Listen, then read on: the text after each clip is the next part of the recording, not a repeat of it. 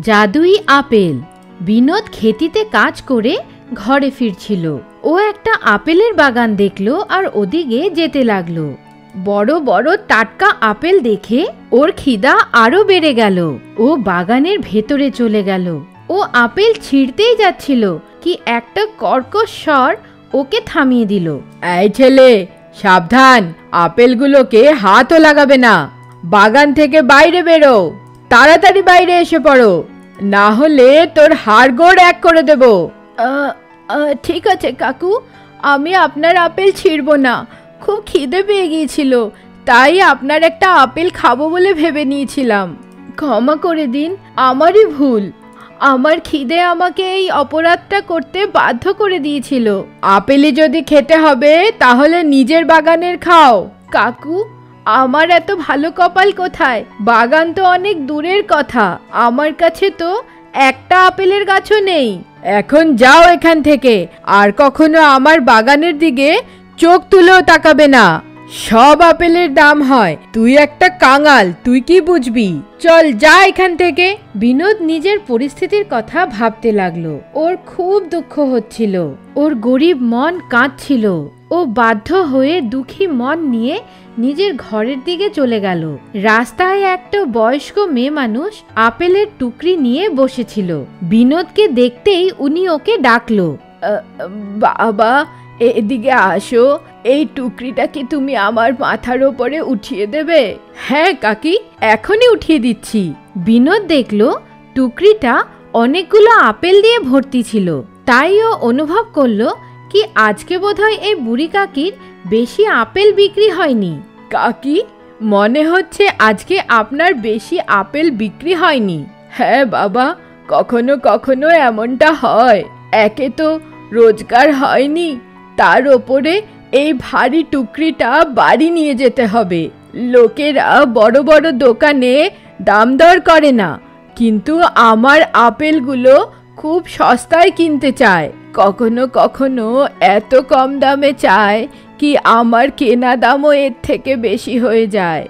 কাকি, আমি আপনার একটা অসুবিধা কম করতে পারি। আপনার এই টুকরিটা নিজের মাথায় করে নিয়ে আপনার ঘরে পৌঁছে দেব। থাক বাবা, আমার জন্য কেন কষ্ট করবে? এটা রোজকার কথা। কখনো ভারী থাকে, কখনো হালকা থাকে।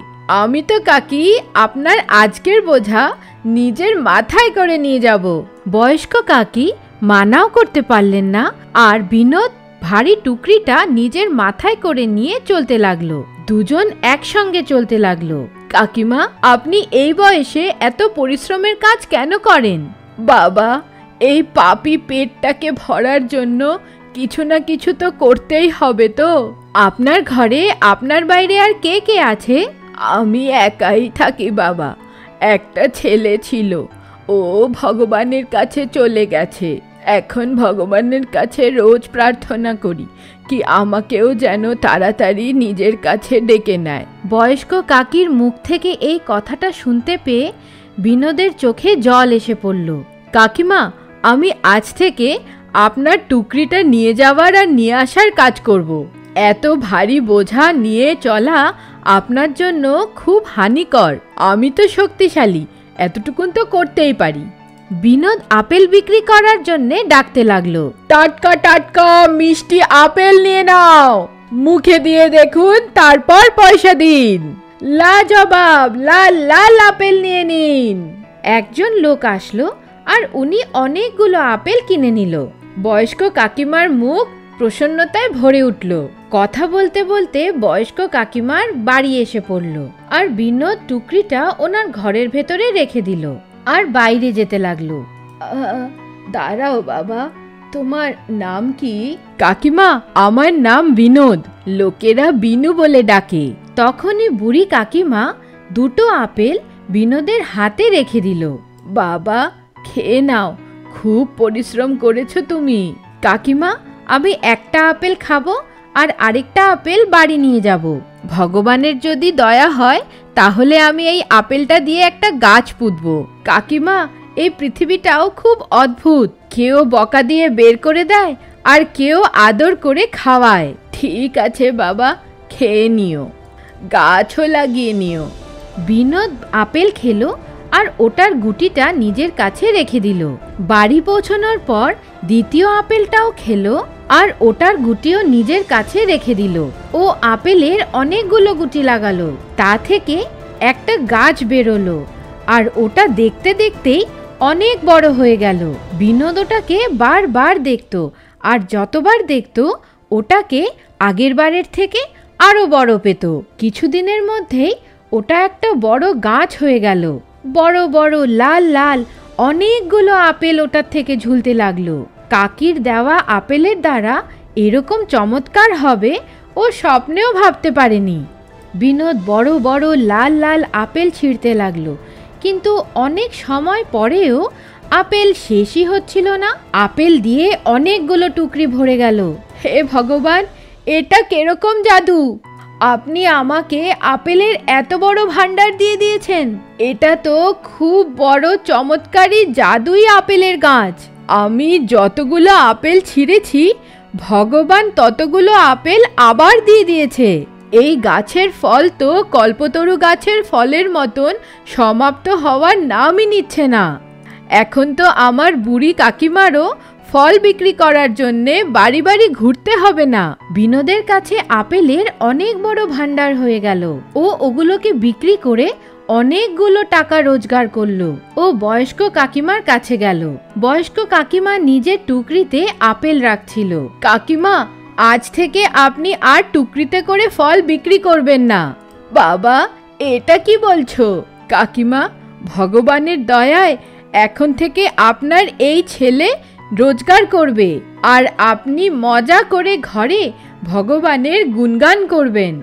বিনোদ বুড়ি কাকিমাকে নিজের বাড়িতে নিয়ে গেল। ও আপেল দিয়ে ভর্তি নিজের ঘর দেখাল। তো কাকিমা অবাক হয়ে গেল। বাবা, এতগুলো আপেল কোথা থেকে আসলো? কাকিমা, আপনি যে আমাকে জাদুই আপেল দিয়েছিলেন, এটা ওটারই কামাল। এটা ওটারই চমৎকার। আমি ওটার গুটিটা পুঁতে দিয়েছিলাম। আর ওটা একটা অনেক বড় গাছ হয়ে গেছে। আসুন, আমি আপনাকে ওই গাছটাও দেখাই। যখন বিনোদ কাকিমাকে ওই আপেলের গাছটা দেখাল, তো অবাক হয়ে কাকিমা কিছু বলতেই পারল না। উনি দেখতেই থাকলেন। উনি আকাশের দিকে তাকিয়ে দুহাত জোর করে প্রণাম করলেন। একজন অনাথ একজন কাকিমাকে পেয়ে গেল, আর কাকিমা একটা ছেলে পেয়ে গেল। দুজনে মিলে ফলের অনেক বড় দোকান দিল আর একটা খুব সুন্দর বাড়িও বানিয়ে নিল, গাড়িও কিনে নিল ও একটা সুন্দর মেয়ের সঙ্গে বিয়েও করে নিল।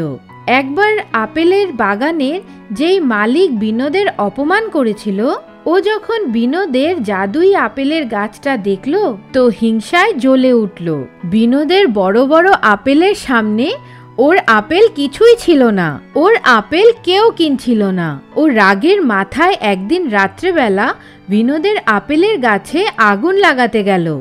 ও যেই মশালকে গাছের সামনে নিয়ে গেল, মশাল নিবে গেল। আর ওখান থেকে দূরে ওর আপেল গাছ জ্বলতে লাগল। ও কাঁদতে কাঁদতে নিজের বাগানের দিকে গেল। বিনোদের জাদুই আপেলের গাছ ফল দিয়ে ভরে উঠল।